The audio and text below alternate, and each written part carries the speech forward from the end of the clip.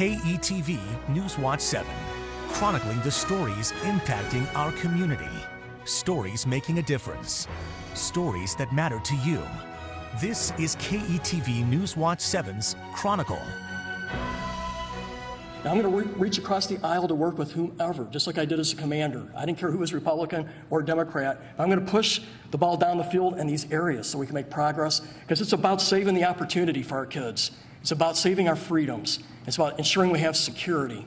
Now, again, I, I praise Brad for being a nice man, and I, I like talking to him. And we're going to be friends for the rest of our lives here. But General Don Bacon thinks he's a better choice to represent you in Washington for the next two years. And he's hoping if you live in the 2nd Congressional District that you'll give Representative Brad Ashford the boot and vote for him this November. Well, good morning. I'm Rob McCartney. You're watching a special Commitment 2016 edition of KETV News Watch 7's Chronicle. For the next several weeks, we'll be focused on issues leading up to the election. Last week, we spent the half hour talking about the death penalty. Well, this week and next, we're going to focus on one of the hottest congressional races in the country, Nebraska's 2nd District. This morning, we're talking with Don Bacon. Next week, incumbent Democrat Brad Ashford will be here. And we will post each of these shows online at KETV.com, along with the debate we hosted last week as well. Now, before we talk with General Bacon, let's look at his background. He graduated from Northern Illinois with a degree in political science. He earned master's degrees from the University of Phoenix and the National War College. Bacon joined the Air Force in 1985, served nearly 30 years, retiring as a brigadier general. He had 16 assignments around the world, served at Ramstein Air Base in Germany. He was deployed four times during his career to the Middle East, commanded an electronic warfare squadron during the invasion of Iraq. He also had a year long tour in Baghdad during the surge in 2007 and 8 four assignments at Offutt Air Force Base and is currently an assistant professor at Bellevue University teaching undergraduate leadership courses. And joining me now is General Don Bacon. General, thanks for being here today. Thank you. It's good to be here. I got a couple questions. First off, we got a lot we want to get through uh, about the presidential race. Right. After the 2005 tapes uh, surfaced about Donald Trump's comments about women, you put out a news release saying his continued candidacy guarantees a Clinton victory. So is it fair to say that by supporting your party's nominee, you are then, in fact, helping guarantee a Clinton victory? Well, he is our nom- nominee. It's between those two choices. And I thought those comments were they were poor, in very poor taste, and I wanted to make a clear stand about them. And I have a, a long record in the United States Air Force, uh, protecting the rights of men and women, and I took some strong stands in the Air Force on sexual assault, one of the best program in the Air Force as a commander down at Ramstein Air Base in Germany. I thought it was important to make a, a clear stand on the statements. Having said that, we have two candidates, and as I've mentioned in some of the debates, you may have heard it. If I would have made those comments as a commander, I would have been fired. But if I would have done the things that Hillary Clinton did as a commander, I would have been court martialed and very much, very likely have gone to jail. Those classified emails, 2,000 of them on our secret agents, also on our targeting in Iraq and Syria. Uh, so it's so the actions were inappropriate or the, the words were inappropriate, but the actions in my mind, particularly as someone who served in the military with clearances, were criminal. But I think it's even beyond that. It's also what do you think about policy? And I agree with more policy stands of Donald Trump than I do Hillary Clinton. And Hillary Clinton, I, I agree with very little on. I mean, she wants to expand government, she wants to raise taxes.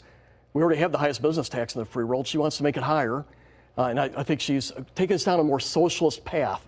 Here's another one. She said during the campaign she wants to do federally funding of abortions. I just think she's an extreme on many of these positions. So in the end, I'm going to support our nominee over Hillary Clinton. Okay. Now, some Republican candidates across the country are basically shifting their argument for mm-hmm. voting for them. Not so much um, support me, but more support me because I can be a balance to a Clinton presidency. Mm-hmm. Kind of hearing the same thing from yours after our last debate. Is that, you see that a shift as Trump's not going to win this thing? Well, he could still win this thing, uh, but we have to see so hopefully some bump up in the polls. And it's interesting, I go around the district, I find folks who've never voted Republican in their life are voting Republican this, this cycle. So I think we don't really know what to anticipate. And, you know, Donald Trump's going to have to work hard and get out there and get, and he's doing that. I'm going to do the same in our race. I'm going to work 14, 15 hours a day all the way through the election. And in the end, our, our race is separate. But I think I'm not going to be a blank check for either candidate in the end. I mean, we're, I'm going to support our district and be loyal to the Constitution. That's, that's my goal. And whether it's Hillary Clinton or Donald Trump, I'm going to agree with Donald Trump on more issues than I will with Hillary Clinton. Haven't said that, but in the end, I'm not a blank check for anyone. Well, let's talk about your race. Your career, as we pointed out, has been in the military. And in the military, when a general, such as yourself, says jump, the response is how high? I mean, no questions. A general says, says you do. Uh, in Congress, completely different Mm-hmm. animal here. How is there a question, and I know there is a question, of how can a military mind fit into a political atmosphere? Well, first of all, let's think of some of our greats. Dwight Eisenhower. I mean, he, he went on to become a president as a four star or five star general. Yeah, but right? a president says jump, you say how high. Just That's not a congressman. I'm saying that we have had folks that have made the transition in the political world uh, well. Uh, as a commander, I had to work with other commanders. It's not about saying jump and how high. And I don't think we command that way anymore, for that matter. But as a wing commander, I had to work with nine other wing commanders or base commanders in Europe. As the base commander at Offutt, I had to work with 22 other base commanders, and you give and take. And on down, when I was a squadron commander of, say, 365 people, we had 30 other squadron commanders on base, right? So you have to do the give and take on resources. I think also as a commander, you don't just say jump and everybody just says how high. You know, you, you have to balance resources. You want to get the inputs from folks in your unit and what the priorities and goals are. And you, so I, I don't, it's not as rigid, the military, as Okay. many folks. I know your father Right. has that experience. You have a little bit of that, but Yep. I think it's not like a lot of people think. Okay. Now, I'm going to go to Congress. I will be collegial. Uh, I will work across the aisle. There are goals that we have to work towards if we want to keep our country strong.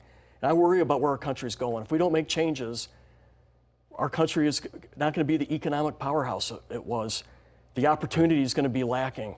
And I think our security has been threatened the last seven, eight years under the leadership of the current administration.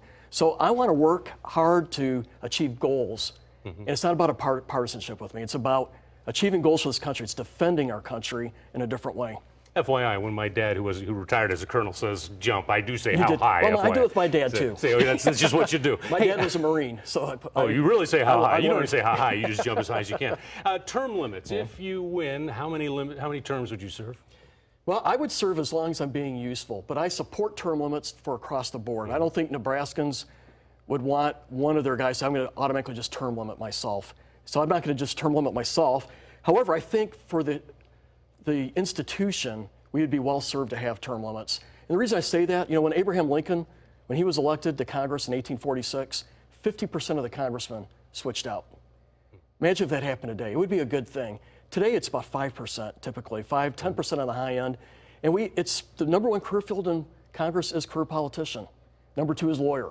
And I think we need more folks who have succeeded on the outside and bring those successes and that experience into Congress. But what we have today are a lot of successful legislators who know how to work with lobbyists, and it's not working. Gotcha.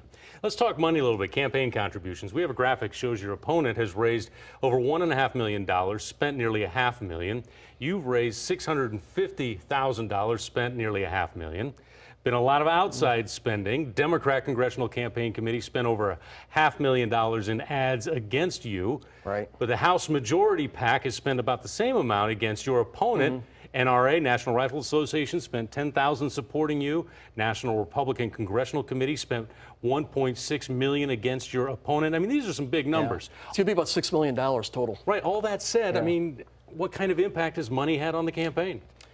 Well, money helps you get your story out. I personally don't like it. It's a when you travel, I would like when when you talk to people, the political pros, instead of asking, "Hey, what's your message? Why are you running?" And I think that's the most important question. a lot of folks say, "How much money have you raised?"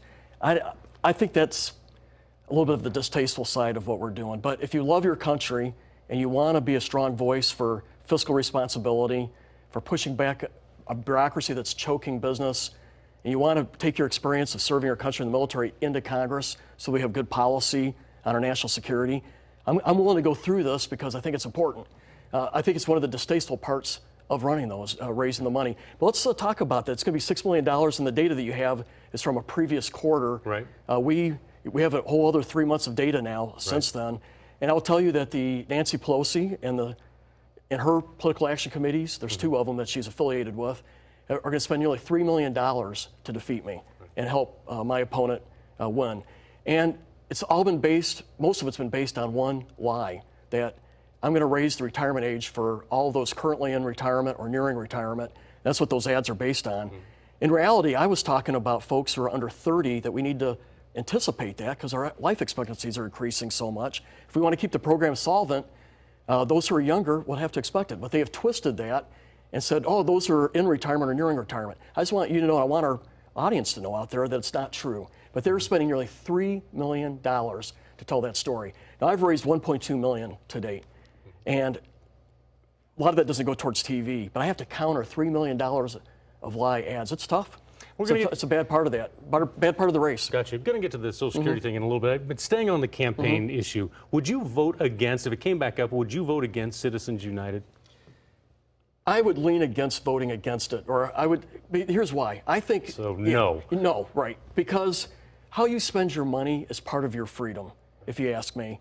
So let's say that I feel like wind energy and solar energy is the most important thing in my life. Well, I should be able to contribute two or three thousand or, or ten, whatever it may be, to groups that believe the way I do, and then allow them to help lobby and influ- and put ads out. I think that that is part of our process. I, what I think the problem is, though, is this money that is going is typically going towards incumbents only because 95% reelection rate. That's why I think we need term limits. That's another way to ah, help bust up the money. But I think how you spend your money and what groups you want to affiliate with is part of our freedom of speech.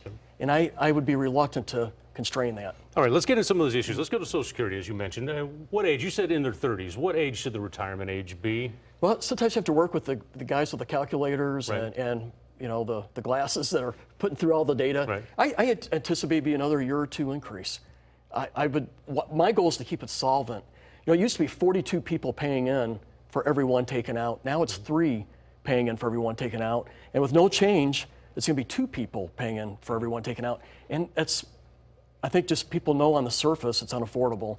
Now, I think a lot of folks have come up to me, or a lot of folks have, said, Don, thanks. You're being a leader. You're, you're speaking the truth. But those who are under 30 are going to live till they're 84 years old. Right. And when, when Social Security was created, the life expectancy was under the Social Security ret- payout time. I mean, people were, life expectancy was 63, mm-hmm. and Social Security started paying when they're 65. Now we're at 78, and the retirement age is going to 67. Right. It's going to soon be 84. I just think we have to be honest. And if we want to keep it solvent, we have to make hard decisions. And, and I don't think it's anything like a year for year adjustment, but it has to be a little bit.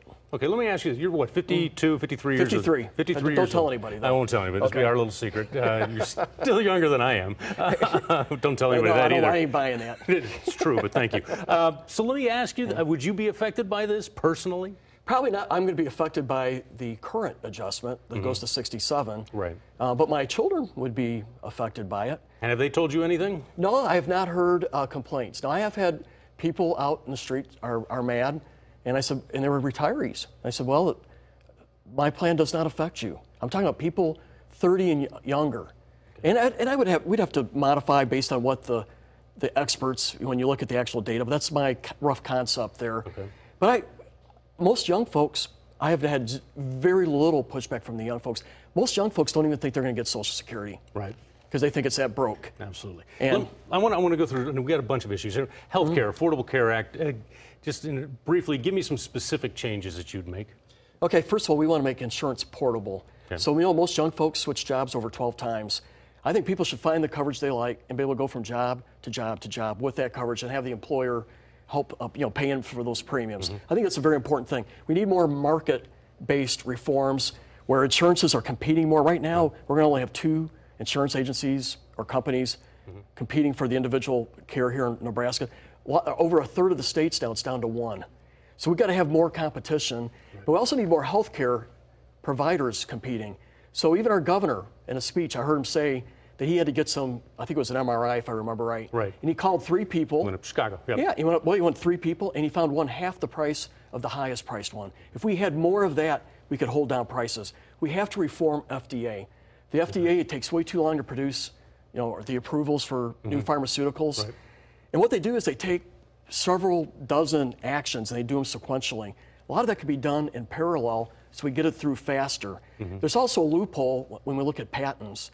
So pharmaceutical companies, when they get a patent, if it's really making a lot of money for them, they can make a minor adjustment to whatever it is, and then they can extend their patent. We should stop that because what it is, it's prohibiting or limiting competition. Okay. We need to get generics out there faster. I think we need to do tort reform. You know, defensive medicine adds 15% to the cost. But I want to get healthcare back to the state level, not run by a federal bureaucrat in Washington. Nebraska can do some things that we would like versus maybe what Massachusetts would want to do with their care. Gotcha. So I'd like to have some county options there that tailors it for Nebraska's needs. Okay. All That's just the tip of the iceberg. There are I got that. proposals by Congressman Dr. Price. He's an orthopedic surgeon, has a lot of these proposals. I'm only giving you about half of them, frankly. Mm-hmm. Well, that's good. I mean, we, I'm sure we can go to your website and check them out on those. I appreciate that. We're going to take a quick break. Okay. Uh, we're going to continue our conversation in 90 seconds. You're watching KETV News Watch. You're watching KETV News Watch 7's Chronicle. Joining us this morning is Republican Don Bacon, running for Congress in Nebraska's 2nd District. Continuing our conversation now, uh, General Bacon, terrorism, obviously a hot button issue. You support sending more troops on the ground overseas to the Middle East? Absolutely not. I think more troops on the ground would be a mistake. I think we should be helping more in the background, uh, maybe some special forces, but our air, our air should be the dominant uh, force there, but also our leadership. We can't win this fight against ISIS unless we bring a better coalition with our Sunni allies and the Sunni uh, tribes and the Sunni countries. That's how we won in Iraq in 2008 9. It was the Sunni tribes that turned on Al Qaeda in Iraq. We got we got to replicate this more broadly uh, for ISIS, but we've undermined it with our agreement with Iran. Those countries fear Iran more than they do ISIS. Sec- well, I'm going to go keep so we move along. Secretary of the Air Force Deborah James told me uh, the Air Force is on track to be the smallest in its history. Uh, you know this, obviously, coming from the Air Force. The Heritage Foundation rated all the branches and says the overall military capability is marginal. Now, the problem is multiple threats. Argument: U.S. is a- able to handle what's called a single major regional conflict. You and MRC. Uh, basically, we have one front war. That's not what we're fighting now, and we have been fighting for several years. You know, a number of years. We have multiple fronts. Um, are you willing to give more money to the military with that in mind? Yes, short answer. We've cut the military 17% in the budget. And we said you can't cut bases and you can't cut weapon systems. So what we've done, we've cut training, we've cut people, we've cut future weapon systems. And the net result of all that, we're a less capable military today. And you're right, it used to be you had to fight two fronts at once. Mm-hmm. Now, then it became fight one, hold, then win. Right now, the units back at home station are unable to deploy in a timely manner. That's bad for deterrence. and I think makes war more likely, and it's, it's bad for us. We, we got to improve training and our readiness, and we have to get some more of the combat capabilities that will win on the battlefield delivered faster, which is stealth technology, for example. And our nuclear deterrence is extraordinarily outdated. We got to, we got to work on that as well. Right. Homegrown terrorism. Which personal liberties would you be willing to give up in name of national security? None. None. Yep, I believe in protecting our Bill of Rights, mm-hmm. and but I believe in being as vigilant as, as we can. Now, I think we did made some smart decisions after 9/11. One of them was we did a better coordination with our intelligence agencies, and there's things that we can do smarter. I guess is what I'm saying. Well, we had some information on 9/11 that wasn't being shared from one agency to another agency. The picture was all there, but people only saw sections of the picture. So we've made some smart changes, but I don't think we should compromise our individual liberties for safety at all because what makes our country special is our individual liberties. But we have to fight and defend them, and we have to take the fight to ISIS, and we have to undermine that homegrown threat. And How we do that is not by compromising our liberties, mm-hmm. it's by going after the internet sites that are being propagated out of Syria and Iraq right now, but they're using that to recruit people all over the world, to, to include the United States. Do you feel safe? Generally, yes. I just I think we're in a less safe world than we have been, but I still feel safe. But you know, I'm a mm-hmm. believer. I know in, in the end I'm in God's hands. I got you. One one way or the other way, I'm in His hands. Let me ask this: Do you have a gun? Yes. Do you have a gun? Do you think the gun control laws should be stricter or looser? I think we're in the right spot right now. I think I, I, I don't want to restrict them more, and I, th- I think we got the right right level of freedoms when it comes to our gun rights. So, d- does that bother you if uh, there's talk? Sheriffs are concerned, uh, possibly if Clinton gets elected, that there may be a change to the Second Amendment. Well, I would oppose it. Uh, it- it's absolutely right. Uh, Hillary Clinton wants to restrict our Second Amendment gun rights, despite what she said at the debate uh, recently. Uh, we, we need to defend our Second Amendment rights. My, my view of it is 99% of our citizens are law abiding, great people. Why do we want to restrict their rights? We should be more worried about the 1% who are the lawbreakers. We want to hold people accountable when they break the law, not go after the 99% and restrict their freedoms. Immigration, briefly, build a wall, don't build a wall. I'm not into a wall from coast to coast. I think you build it where you need it. So let's do it smartly. Okay. I want to ask this. This is a philosophical question. I've asked it of other candidates mm-hmm. in the past. How do you see elected officials on divisive issues with your constituency? Should you vote how you think your constituents want you to vote, or should you vote how you want to vote? I believe it's you listen, hear what the views are, because I don't know everything. I know that. It's good to hear other inputs, and it's good to broaden your perspective. But in the end, I think you have to vote your conscience and then defend it. And if, if the district doesn't like it, they're going to vote you out. And I think that's a better, I think that's the way our system was made. So you, you go out there and you contend for your views and why, and you listen, right. and then you vote your conscience. And if your constituents don't like it, they vote you out, they fire you. Understand. All right. Well, we're going to be right back with some final thoughts. First, we have a reminder your comments are an important part of the show. If you want to be heard, email those comments to news at ketv.com. Let us know what you think about Don Bacon and his campaign. Love hearing from you, and we'll be right back.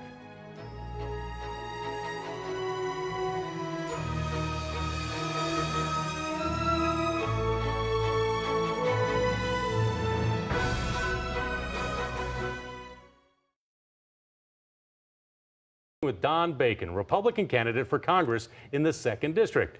Don't have much time left. We want to give you a chance to make a final appeal to voters. So, well, thank you. The floor is yours. Well, I'd like you to know I love our country. Our country is the greatest country that's ever existed. We have great opportunity for our, the best opportunity for our kids and grandkids, and uh, we live in a most powerful country with the greatest freedoms, the oldest democracy. But if we don't make changes, that future is at risk. We have a debt that's out of control at 19.7 trillion, a federal bureaucracy that is killing small business. We've lost the checks and balances in our Constitution that's kept us so special. The president's been working around Congress. We need to fix a broken tax code. It's 78,000 pages. And really, our foreign policy, I, I believe, has been failed, particularly the last seven or eight years. I'm running to be a leader. I want to make a difference in each of these areas. I will reach across the aisle uh, to, to make, make these fixes, but it's about defending our country. It's about ensuring that our kids and grandkids have the same freedoms, the same opportunity uh, that we have had. And that's why I'm running. So I would be very honored to have your vote and your support, and I will work hard to serve every single person in this district. Thank you. General Bacon, thank you very much for thank being you, here. Sir. Appreciate it. Again, next week we're talking with Democrat incumbent Brad Ashford. We'll have this show and that one, along with the debate we hosted last week, online. It's at ketv.com. Don't forget, we have some deadlines for you. You have until this Friday to register to vote in person. Have until Wednesday, November 2nd, to request a ballot be mailed to you. And you can vote early through Election Day if you bring your ballot to the election office by 8. If you're going to mail in your ballot, needs to be at election headquarters by the 8th, so you'll probably want to mail it by Saturday the 5th. Polls are open Tuesday, November 8th from 8 a.m. to 8 p.m.